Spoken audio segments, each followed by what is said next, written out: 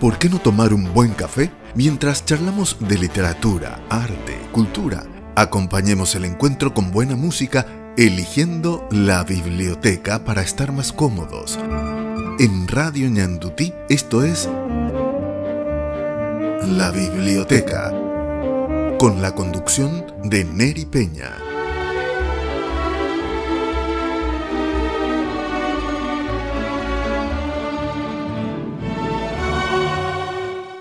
Biblioteca vamos a hablar de un clásico de la literatura paraguaya.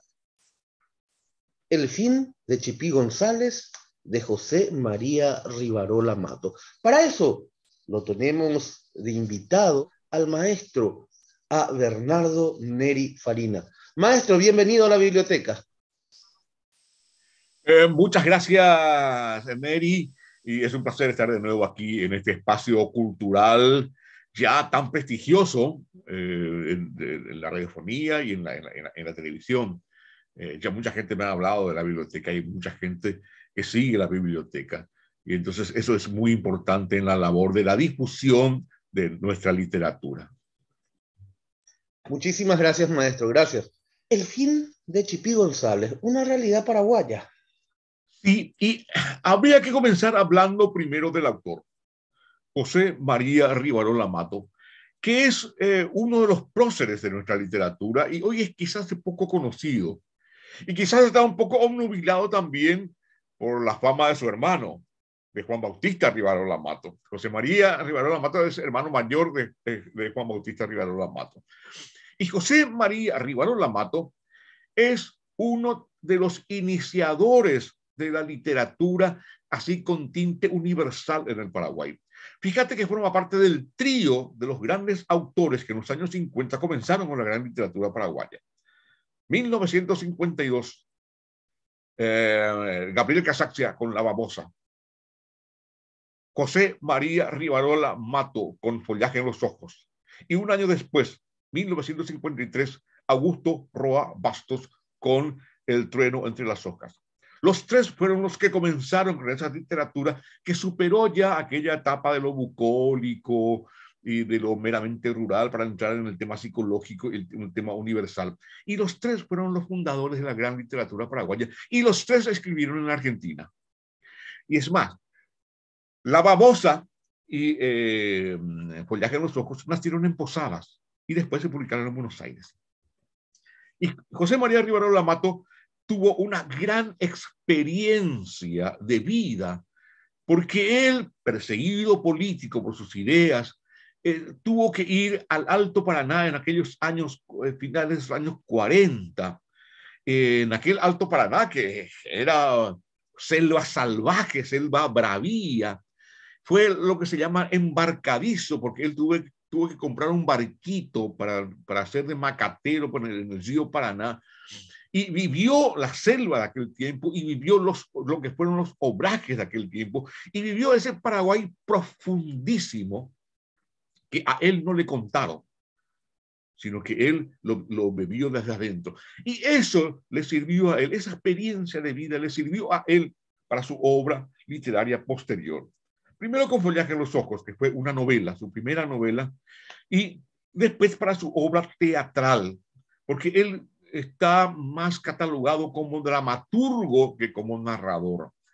Y dentro de esa dramaturgia está El fin de Chipí González, que es una obra teatral que él la escribió en 1956 y se, em, eh, se representó por primera vez en 1965. El fin de Chipí González es, un, es, una, es, es, es una obra también fundacional en aquel tiempo. ¿Por qué? Porque vence una de las dificultades más grandes que se tenía en aquel momento para escribir, tanto en narrativa como en teatro. ¿Cuál era esa dificultad? El lenguaje. Esa dificultad en el lenguaje que había superado un poco Roa en el 52 con, con el trono de las hojas, donde usa ese castellano paraguayo que es mezcla eh, funcional entre el, castellano y el guaraní y una recreación del castellano muy al estilo nuestro. Y también en el fin de Chipi González se nota eso en José María Rivarola Mato.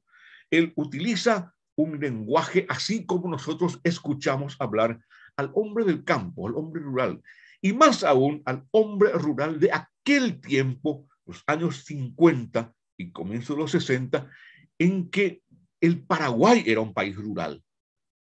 Por más que viniera a lo urbano, era un país con mentalidad rural, con pensamiento rural y con lenguaje rural. Y eso se nota en el fin de Chipi González perfectamente. Y ese lenguaje es una herramienta que utiliza eh, Rivarola Mato en esta obra para que su mensaje trascienda más y le llegue mucho más al sentimiento del, del, lector. Quizás al leer esta, esta obra como obra teatral, eh, pensemos en cosas que hoy ya están lejanas para nosotros, porque es un Paraguay muy rural y un pensamiento muy rural, pero todavía perviven ciertas formas de ver las cosas.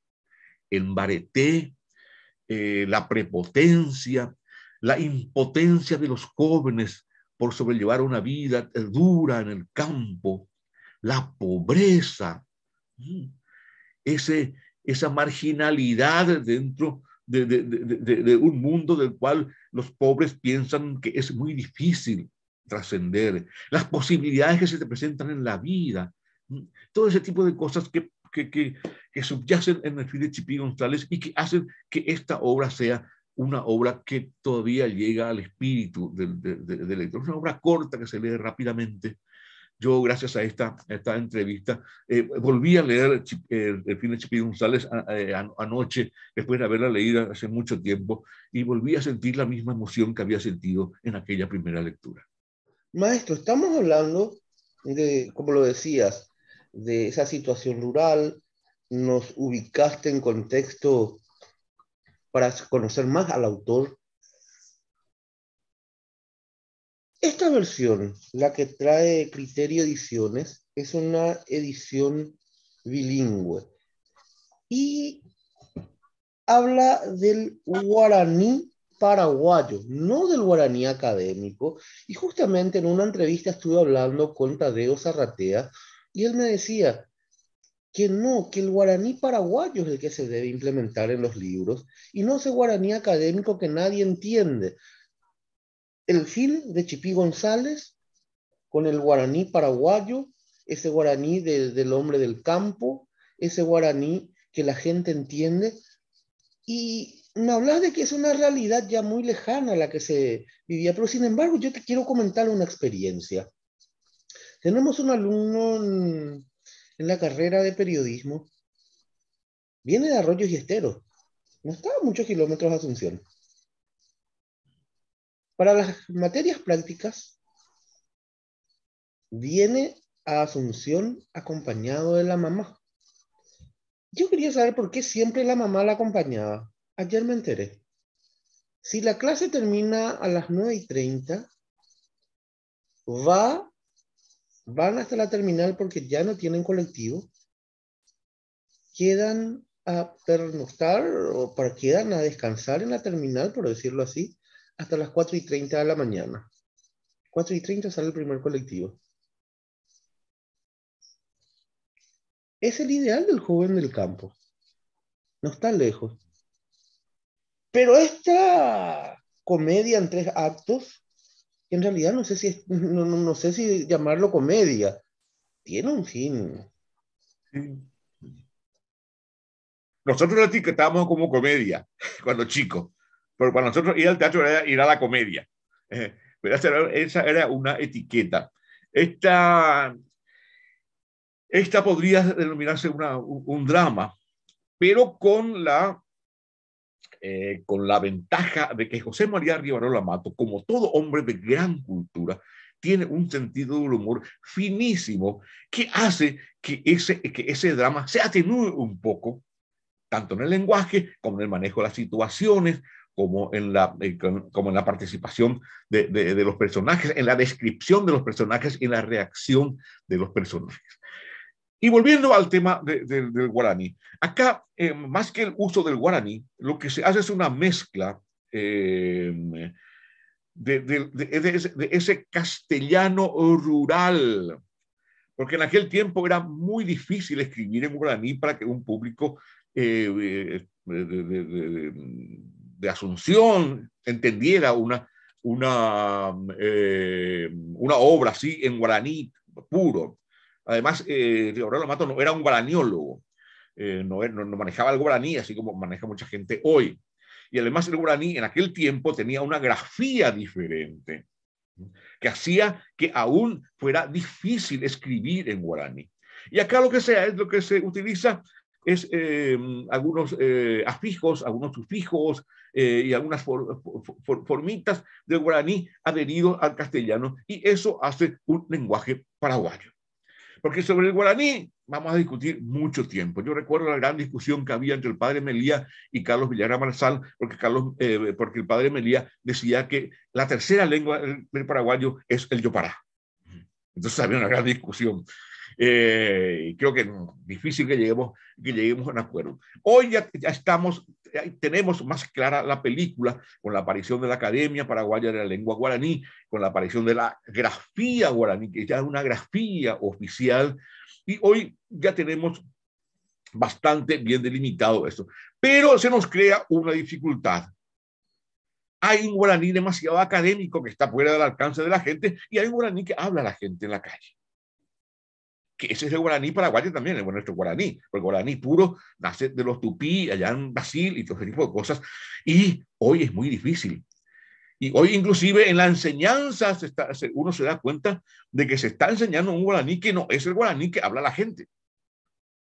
Y que se crea otra dificultad. Entonces, con el fin de Chipi González, nosotros aprendemos al uso de ese castellano cotidiano engarzado con el guaraní que es el que habla nuestra gente del campo. Y esa experiencia que contás vos del chico eh, eh, eh, es, una experiencia que te habla que todavía existe un país rural. No puede ser que no haya un transporte público de acá, de Asunción a cuánto, 40, 50 kilómetros, que, que te deje a la noche sin transporte. Y bueno, y esa realidad, y vos sabés que las realidades de los pueblos se reflejan en su modo de hablar también. Porque el modo de, hablar utiliza un lenguaje que está de acuerdo con la necesidad expresiva de la gente, de las necesidades que tiene la gente de decir lo que le pasa y cómo le pasa. Entonces es muy difícil encasillar el idioma dentro de, lo académico y huyendo de, lo que, cómo se expresa el pueblo. Y al final Chipi González nos enseña cómo se expresaba la gente en aquel tiempo y cómo se sigue expresando la gente hoy, porque uno escucha a los chicos de hoy también y hablan este castellano con mezcla de guaraní y mezcla de yopara. Y hoy más todavía, porque nuestros chicos descubrieron el idioma guaraní. Este es el único país en el mundo donde se canta rock en idioma autóctono, Entonces debemos eh, valorizar eso.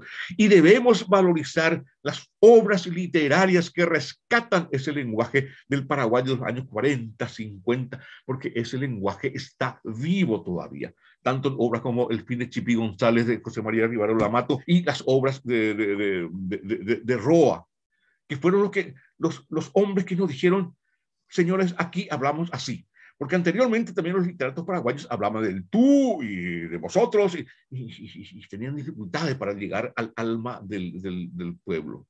Eh, y entonces fueron los grandes escritores, los grandes literatos, como el caso de José María Rivero Lamato, los que nos dijeron, así hablamos nosotros. Y así nosotros presentamos nuestras obras, porque así nosotros llegamos al pueblo. Entonces, es muy valioso leer este tipo de obras porque nos está acercando a nuestra realidad, no solo lingüística, a nuestra realidad real, realidad eh, conductual y realidad de manifestación espiritual como una nación que tiene una, una identidad muy, muy, muy, muy propia y que se refleja en su lenguaje. Claro, el final tiene un final, no sé si, si cuento, el casamiento de Cipriano González, pero... No hay a spoilear. no, sé cómo hacerlo, pero comentar, porque hay una historia Muy interesante. Y otra vez que el juez le Varias lea, historias. Sí, y, otra vez que el juez le lea el acta y le dice, pero y acá está, le dice. Y en ese, eh, en ese yo para que nosotros los paraguayos hablamos. Aquí hay varias historias. Y comienza muy, muy, eh, bien la historia. Y eh, ahí se usa el ingenio y el humor de, de Rivarola Mato en la presentación de la obra, en ese diálogo previo entre el demonio y el ángel, que al final son la misma cosa. El demonio y el ángel son dos caras de una misma moneda, porque después se dan cuenta eh, ellos, el ángel y el demonio, que son de que, que, provienen de, de, de, un mismo lugar y tienen un mismo fin. Eh, y entonces ese, ese diálogo inicial entre el ángel y el demonio va creando una situación que después se va a ir desarrollando y va a culminar en, en, en, un, en un, final que como en aquel tiempo tiene una, eh, una connotación muy especial, porque ese final es un final que desborda todo el drama que se, que se vive a lo largo de la obra y que se va, que se va eh, haciendo como un proceso de conflictualización de las cosas. Un chico, Chipí González, hijo de una familia rural venida a menos, en un pueblo donde hay un comisario que es el que marca la, eh, lo que eh, el que marca la ley, porque él es la ley, es un reflejo del Paraguay de aquellos tiempos porque toda la, dramaturgia de aquellos años 50 y 60 presentan historias de ciertos lugares que uno se da cuenta que esos lugares es el país completo. Incluso la obra de Allí Mora, que era el único estronista que, eh, que podía eh, criticar al estronismo. o sea, y eh, toda la, la, obra precedente ya, incluso Julio Correa en, en aquellos tiempos, eh, presentaba pequeñas historias que eran en, en, eh, en, menor grado la historia del país. Y aquí, en el fin de Chipí González, se nota también eso. Ese pueblo, donde hay un comisario eh, todopoderoso y donde hay un juez que hace lo que le dice el comisario, inventa un casamiento sin la participación de los novios sin la participación de nadie. Él nomás, él, él nomás hace, responde la pregunta. Y en representación de los novios hay una sola persona que dice sí a las dos preguntas. ¿Usted quiere como marido a fulano? Sí, dice el tipo. ¿Y usted quiere como esposa a fulana? Sí, dice el tipo. Eh, son situaciones delirantes que a nosotros nos parecen, usted, lo puede decir, pero ocurre, ocurrió en nuestro país. Y sigue ocurriendo todavía porque la prepotencia permanece. Y la prepotencia en nuestro país está por encima de la ley. Y la ley en nuestro país, en nuestro país es letra muerta en muchas partes todavía.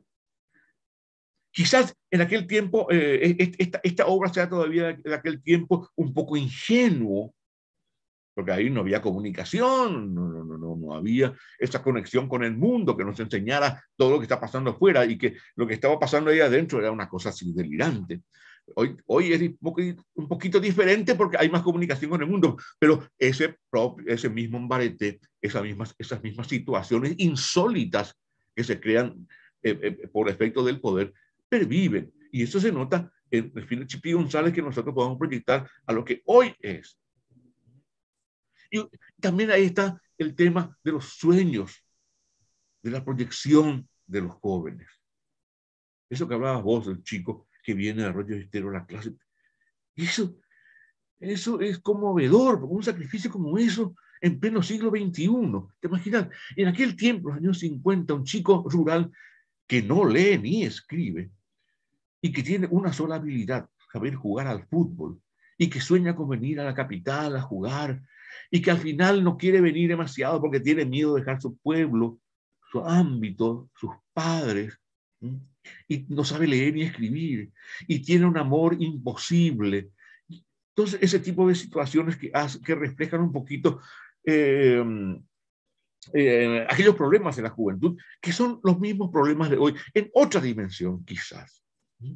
Eh, pero eh, esta, esta obra, leer esta obra de los años 50, escrita en los años 50, en pleno siglo XXI, nos da la pauta de que muy, pocas cosas han cambiado en nuestro país y que muchas de las realidades actuales se explica en ese pasado no muy lejano del Paraguay, así como nos explica José María Rivera Mato en el film de Chipi González.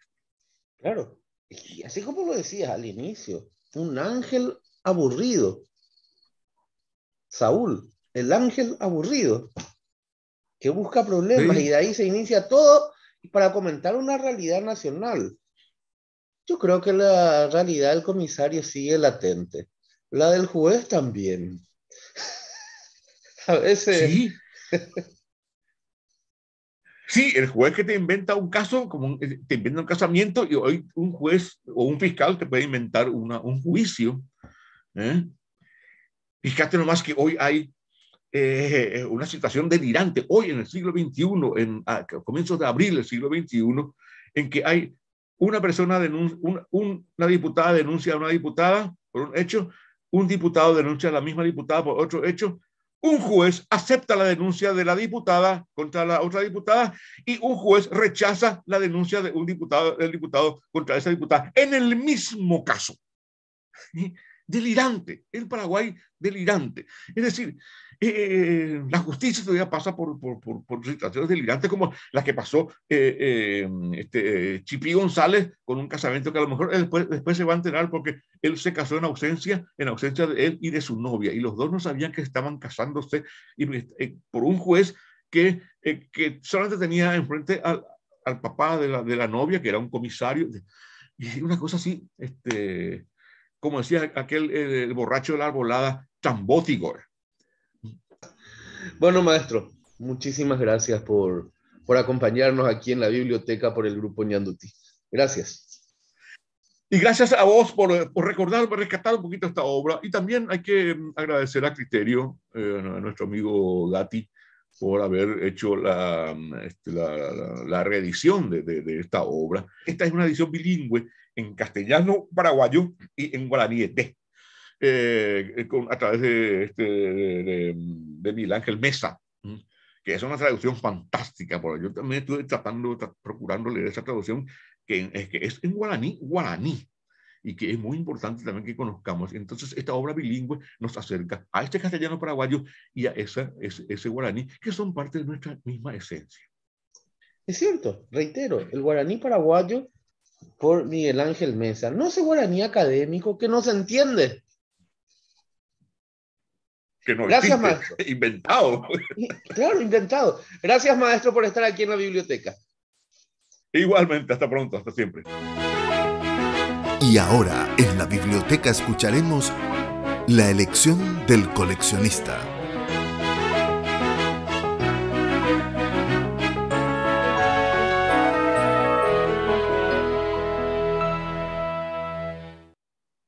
Y en la elección del coleccionista estamos con el compositor Horacio Peña. Horacio, bienvenido a la biblioteca.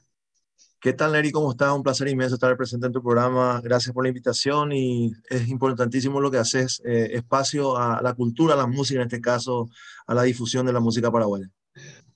Cantautor, ¿con qué tema nos vas a deleitar, por favor? Y voy a presentar una canción, se llama Juan Pueblo, una composición propia eh, con arreglos del maestro Papi Basaldúa, su hijo Dani Basaldúa. Es una canción que relata la historia de vida de un, de un albañil que quiere progresar en la vida. El paraguayo que trabaja en silencio, que persigue sus sueños, que por más que viva limitadamente, quizás eh, en lo económico, no es motivo suficiente para que él pueda progresar, ser arquitecto el día de mañana, persiga sus sueños y sea feliz. Y en ese transcurso de tiempo de trabajar durante la semana, si tiene un, día para compartir con los amigos en su queridos por y como se dice.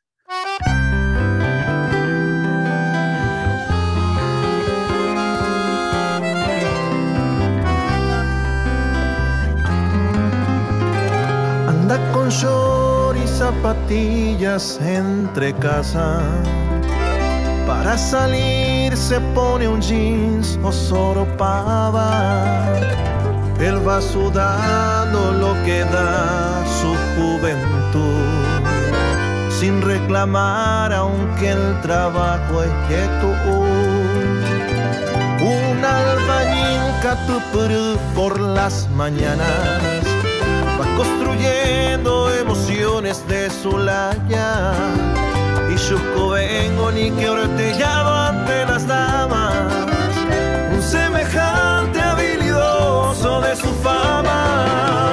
En Paraguay todos conocen a Juan Pueblo, porque la calle no conoce de los peros, va a trabajar para soñar y sonreír, sin reclamar lo que le toca por vivir.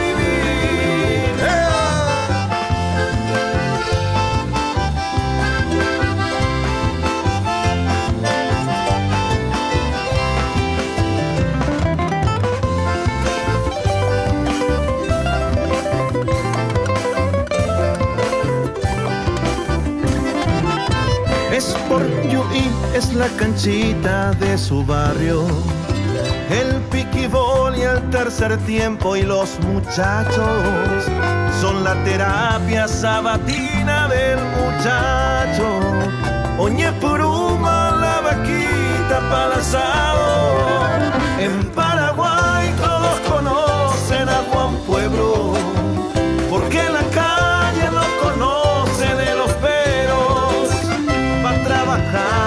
soñar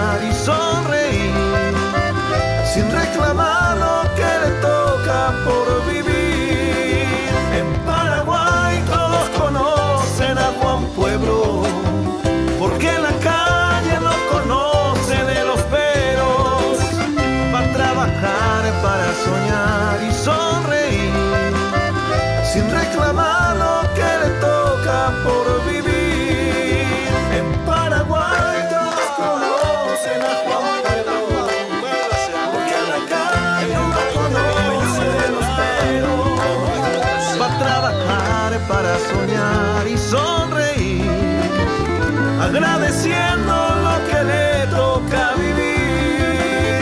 Para soñar, para reír, agradeciendo lo que le toca vivir. Para soñar, para reír, agradeciendo lo que le toca vivir.